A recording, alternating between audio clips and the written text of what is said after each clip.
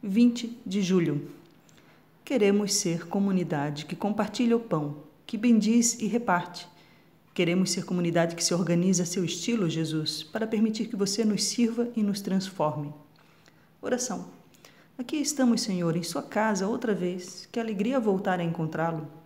Vamos compartilhar e expressar nossa fé como irmãos em torno de seu altar. Em nome de Deus, vamos celebrar o mistério da salvação. O Senhor nos dará sua palavra e seu pão. É a festa do povo de Deus.